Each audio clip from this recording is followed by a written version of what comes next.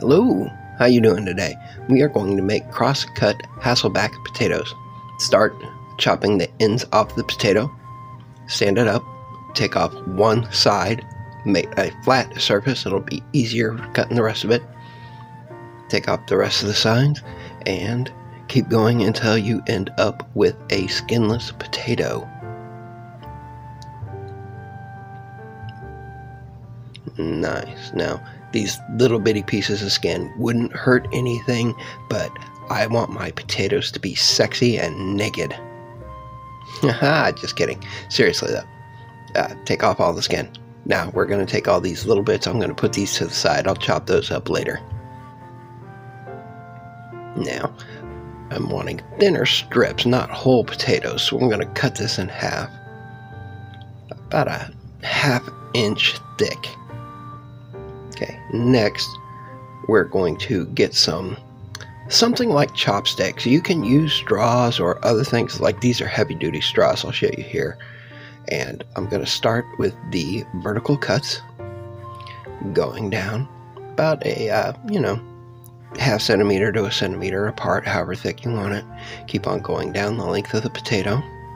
Now we're going to flip the potato over.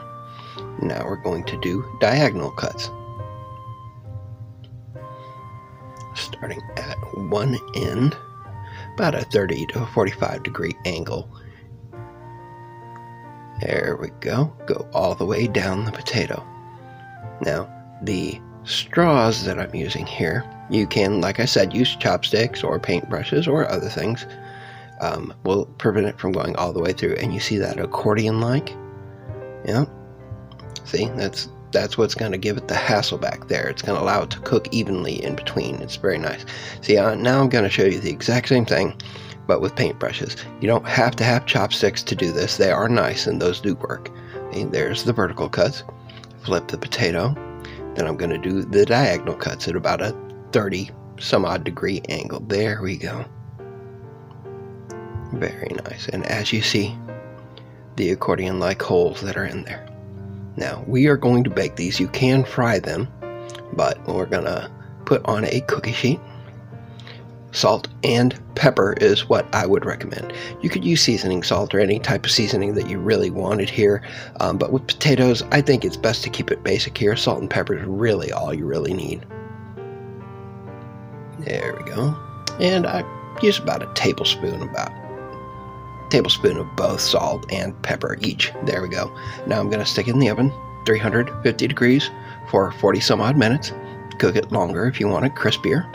And there we go. There's the result. Now, make sure you can flip them over halfway through cooking time for even browning. I'm to take a bite here. Let's see if I can get on my fork. Mmm. Oh, and delicious. It's definitely worth trying.